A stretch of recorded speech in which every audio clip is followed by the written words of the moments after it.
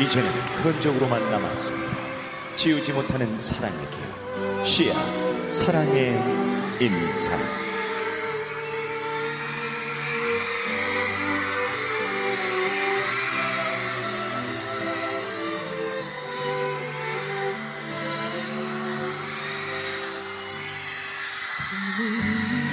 질렀었죠 우산 없이 나